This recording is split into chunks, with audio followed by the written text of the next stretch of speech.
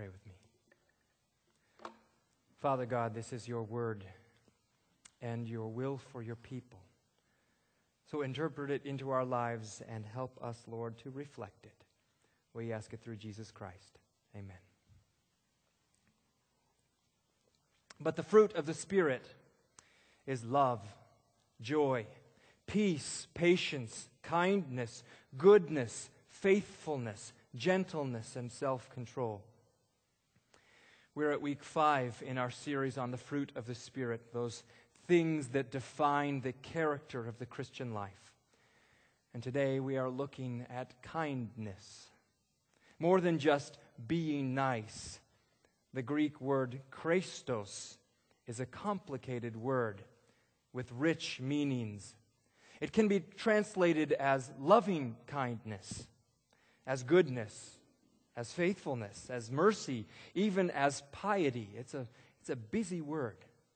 Kindness in action can mean all of those things in context. Only one letter separates this word from the Greek word for Christ, Christos, which led to confusion about what the early followers of Jesus were really called. Some called them by the word Christianos, meaning followers of Christ, naturally, while others thought that they were Chrestianos, followers of kindness. You know, because kindness was such an integral part of the believing community, it was a natural mistake. But most significantly, this word, kindness, is used to describe the very character of God Himself. Of course, when you really look at the fruit of the Spirit, that, that list in Galatians, every one of those items reflects an aspect of God's own nature and character. All through Scripture, these traits are used to describe God Himself. God is love. God's very presence brings joy to all creation, and it's, His absence takes away joy. God is our peace. God is patient. God is kind. God is good. God is faithful, even when people aren't. You get the picture. The fruit that we exhibit in our own lives is a reflection of God's own self shining through his people. After all, if the source of all love and kindness dwells within us, well, it would just make sense that we would be a little bit more loving and kind ourselves, just as our Father is loving and kind. So, if we want to understand kindness in ourselves, we should look first at God's kindness and then ask a few questions. Who is God kind to? What does God's kindness look like? And what is the end result of that kindness? So instead of a description, I thought maybe a few pictures would help.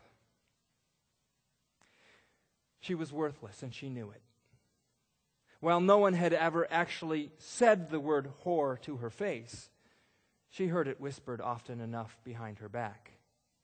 And as much as it hurt her, as much as she hated them for saying it, she had come to believe it too.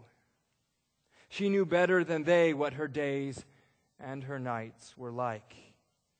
She was damaged goods. After five marriages that brought nothing but pain, she had little faith in that institution anymore. And so she just had live in boyfriends now.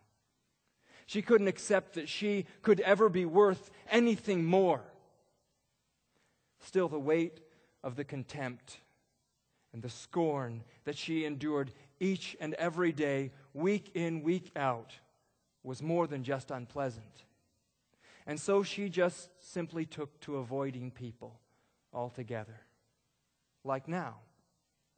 It was so blasted hot outside that she knew no one else would be out doing errands. So while they all sat at home in the shade, she seized the opportunity and braved the heat to do her work.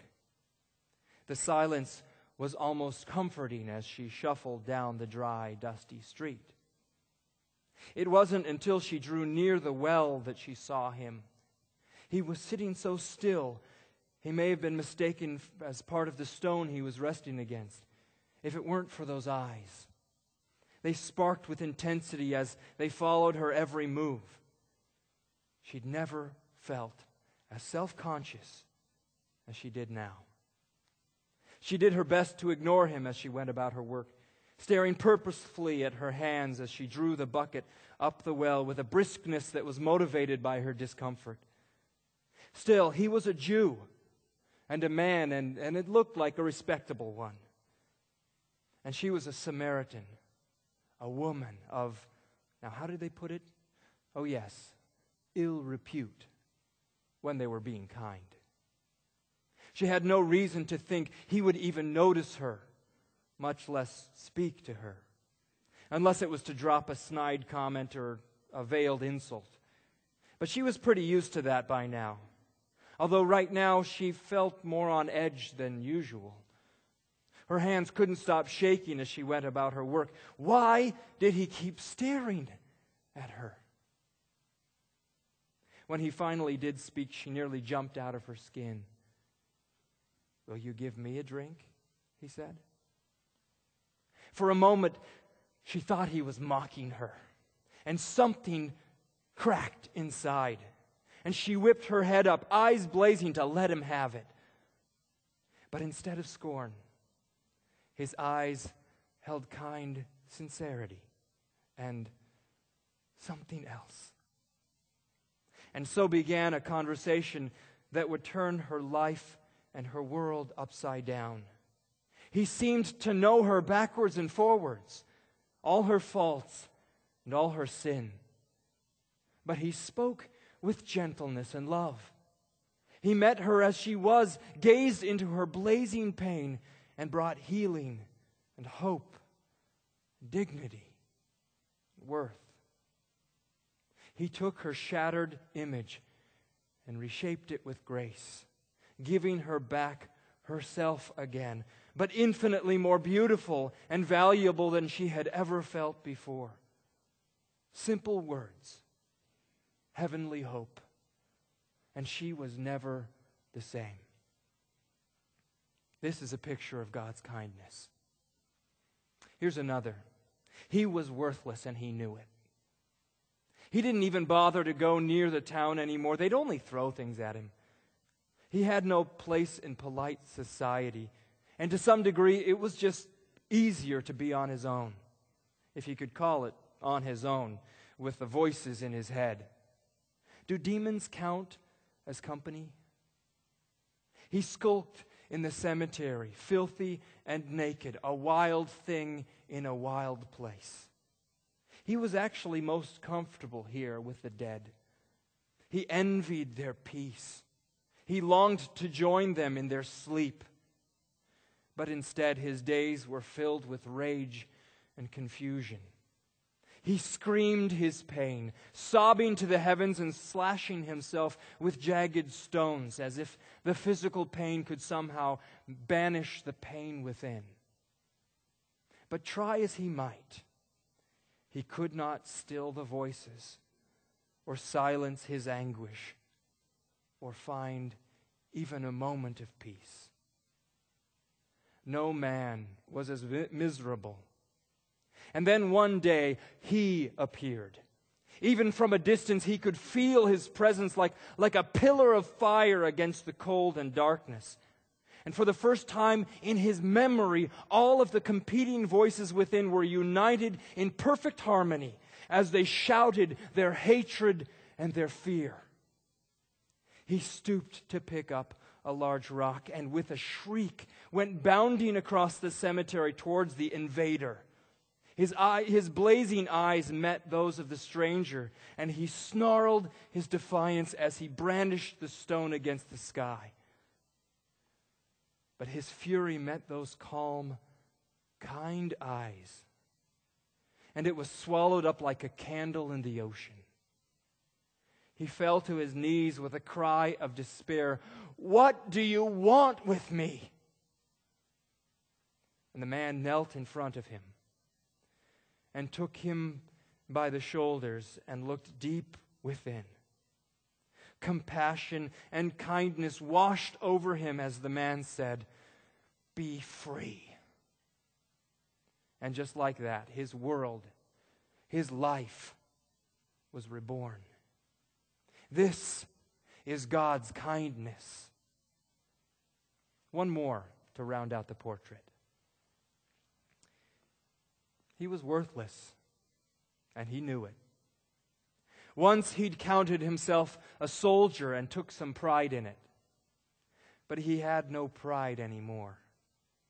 He'd been at this post for a few years, so he'd seen his share of unpleasantness. But this one made even his stomach turn. The Jew barely looked human anymore. The prof- professional side of him made an assessment of the injuries and decided this man would not last the day.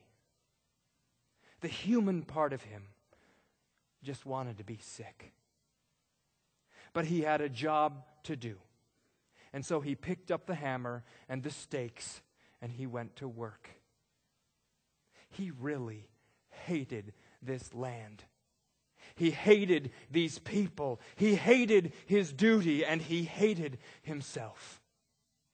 But he knew what he was doing and it shouldn't take him long and then he'd just be done with it. It was late morning by the time they had muscled the cross into place. Thick clouds were gathering, and the sky was growing dark at the storm's approach. He knelt and he scooped up a handful of dust to scrub the blood from his hands, and then cursed and spat as a gust of wind blew some of it into his eyes and his mouth. A flash of light and a crack of thunder drew his attention heavenward and he looked square into the face of his victim. Though the eyes were blurred with pain and fatigue, they still pierced straight through him, and they held him captive. But it wasn't anger or fear or even hatred that held him. He'd seen those things before in, in the faces of his victims. And he'd learned how to brush those things aside but he was totally, completely unprepared for what he encountered now. Those eyes, those pain soaked eyes, held kindness, compassion, even pity. And they pierced him to his very soul. He stood there alone as if he was the only human being left on earth, and those eyes burned him with their kindness. The cracked, swollen lips parted, and the man spoke Father, forgive them, for they do not know what they are doing. The words hit him in the gut like a fist, and he fell to his knees at the foot of the cross in the fading light, his eyes still fixed on the dying man. Two questions circled in his mind who are you? And it led him inexorably to the second What have I become? If you want to know what kindness is, what kindness should look like in your life, look to the kindness of God. If you want to know the kindness of God, look to Jesus Christ. Look at who Jesus loved and what shape that love took. Look at the way he treated others. These are just a few of the many encounters that Scripture records. Jesus sought out sinners, sought out broken people, the sick the marginalized, the forgotten, those that everyone else had written off. Jesus had dinner with prostitutes and tax collectors. He talked with those excluded by most, with those hated by all. Jesus touched lepers, welcomed sinners, loved liberally, and gave freely. He didn't excuse sin, but neither did he shrink from it. He didn't put up with evil. but neither did he flee from it, nor did he condemn those trapped by it. He embodied the kindness of his Father as he reached out to the most vulnerable of society that he might save them. He did it not because they deserved it, not because they could make it worth his while, but because they needed it. Simple as that. And he taught us, his people, to do the same. You know, I have to say that I honestly think that the church is really, really good at showing kindness. I really do. I think it's one of the things that we are good at. Christians tend to be very kind people to each other. And that's good. Really, it is. Paul says this, uh, that kindness should be at the heart of our communal life. But being kind to one another is just the start, it's just a warm up. Jesus Christ told us that we shouldn't expect any reward for being nice to each other. That should be a given. But look at who Jesus wants us to be kind to. You know, I wonder who the modern day woman at the well is. How about that demoniac howling in the cemetery? How about the soldier daily crucifying those that had never harmed him? Who are they now?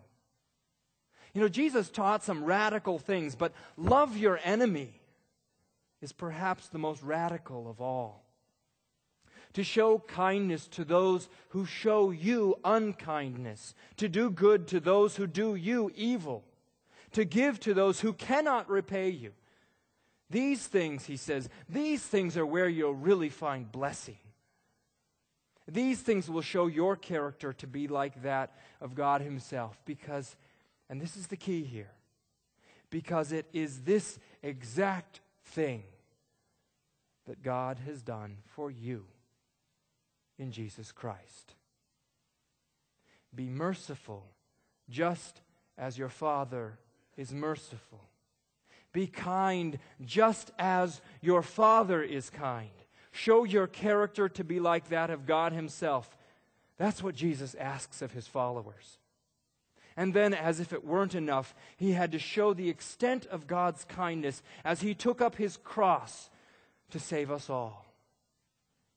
We, who Paul says were enemies of God, doomed to destruction. You know, He set that kindness bar pretty darn high. So that's the first two questions right there. Who are you to be kind to? Everyone, especially those that most offend you, those that most hurt you. And what's that kindness to look like? It looks a lot like the kindness of Christ.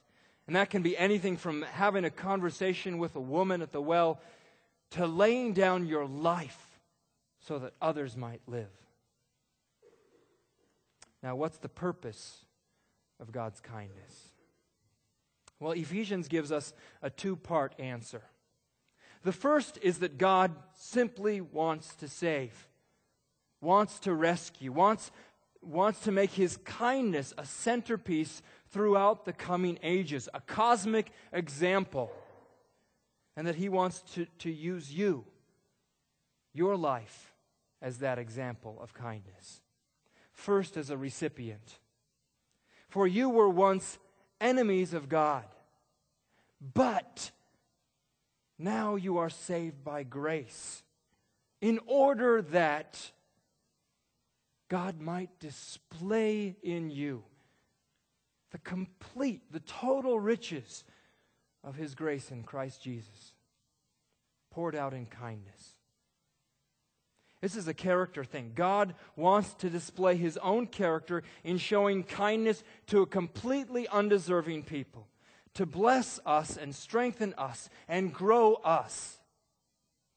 But he's not done there.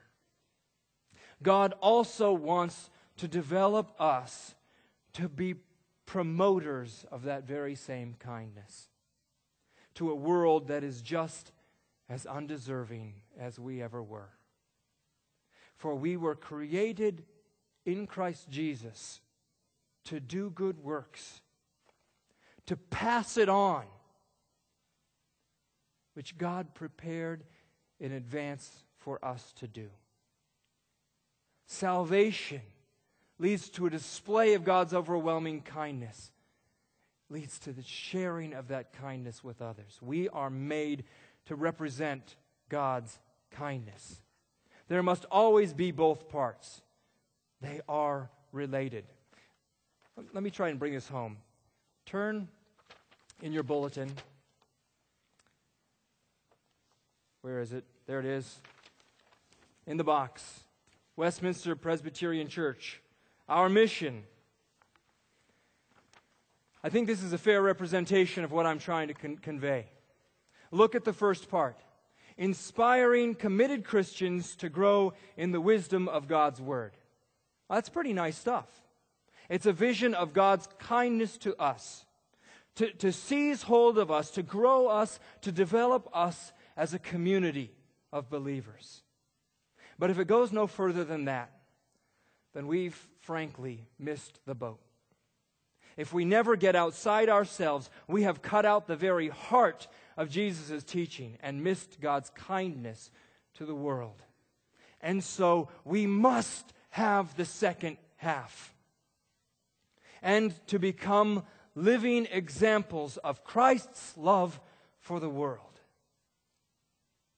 What does Christ's love look like? God's kindness reaches out, always reaches out into the world. And it is for this same thing that God has prepared us.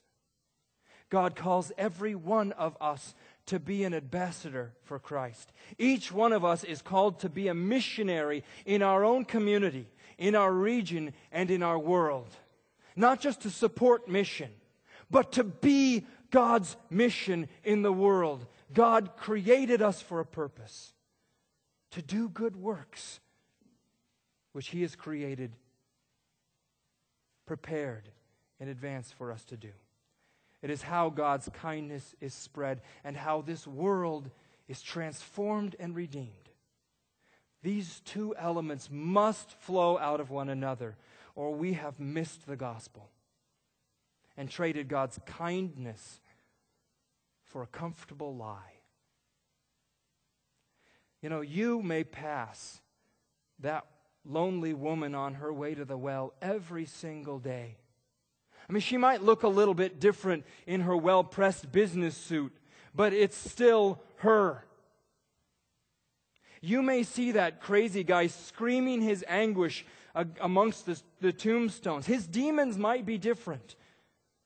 But just talk to him. Go ahead, talk to him.